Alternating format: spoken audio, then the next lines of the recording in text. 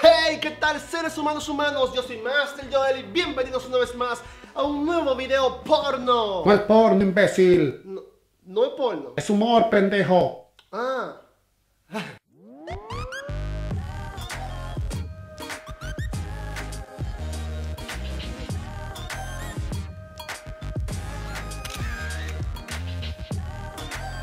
El pato consejero. Las personas que no conozcan este pato dirán, Mastil, un pato que da consejos. Deja las drogas, por favor. No, nunca he usado drogas. Bueno, excepto eh, la coca, la marihuana, el éxtasis, pero, pero nunca drogas, no.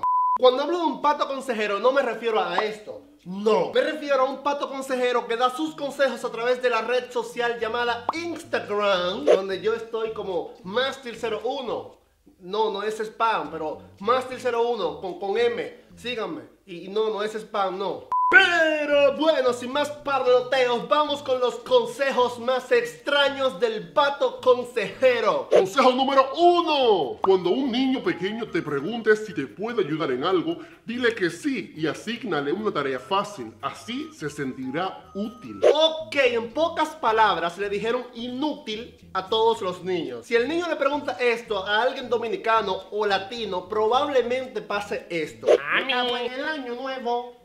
Me cago en el año, hijo. ¿Qué fue, muchacho? ¿Puedo ayudar en algo? Vete a jugar con miel de un palito para allí. Ok. 20 minutos después.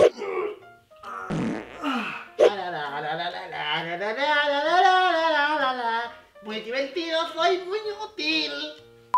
Consejo número 2. Si quieres gustarle a alguien, llévala a hacer paracaidismo. La adrenalina puede hacer que confunde el miedo con el amor. Fuck, pato, tú, tú tienes droga, pato. O sea, pato, aquí tirarse de un paracaídas cuesta más o menos 600, 700 francos. O sea, yo voy a gastar más de 20 mil pesos dominicanos. Págame un curito. Deja, ya, cálmate. Consejo número 3.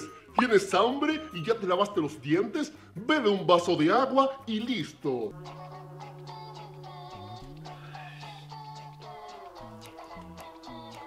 Sigo teniendo hambre. Sigo teniendo hambre.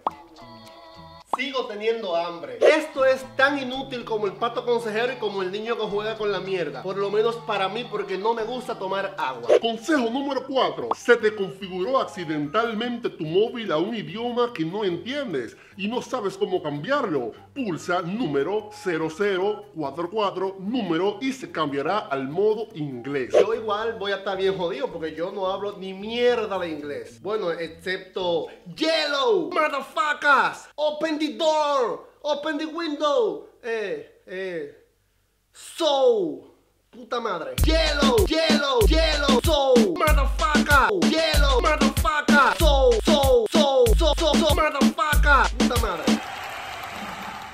Consejo número 5. ¿Apestan tus zapatos? Déjalo una noche en el congelador. Uy, sí que funciona, pero yo amaría estar en tu casa cuando tu mamá abra la nevera y encuentre tus mugrientos zapatos dentro de ella. Me cago en el año nuevo, me cago en el... a- Ay, pero ese hijo de la gran puta de su país se está volviendo loco. Él quiere que yo lo mate. Mira, muchacho del demonio, y estos malditos zapatos. Es que a ti te gíe de la vida, azaroso, eh. 20 minutos después. Interrumpimos este hermoso programa para informarles que una señora llamada Corriguela mató a su hijo de 68 puñaladas por supuestamente meter unos zapatos hediondos en su refrigerador. Pasamos al estudio A con. Y bueno, hasta aquí el video de hoy. Espero que les haya gustado muchísimo. Y si es así, dale like por allá abajo. Si es primera vez que me ves aquí en YouTube, te invito a que pases por mi canal y te suscribas si te gustan los demás videos. No te vas a arrepentir y es totalmente gratis. Esa palabra gratis no aparece en todos los lados. Dale o abajo hay un botón y ya, suscríbete, motherfucker. Antes de irme, quiero mandarle un saludito a Yulisa Peguero, Michael Jr. y Raimi Arias. Fueron tres de las personas que compartieron mi último video en Facebook. Si tú también quieres un saludo fácil, ve a mi Facebook y comparte uno de mis videos y yo te tendré pendiente. Mis redes sociales se las dejo abajo en la descripción. Y nada, hasta la próxima. Yo los amo.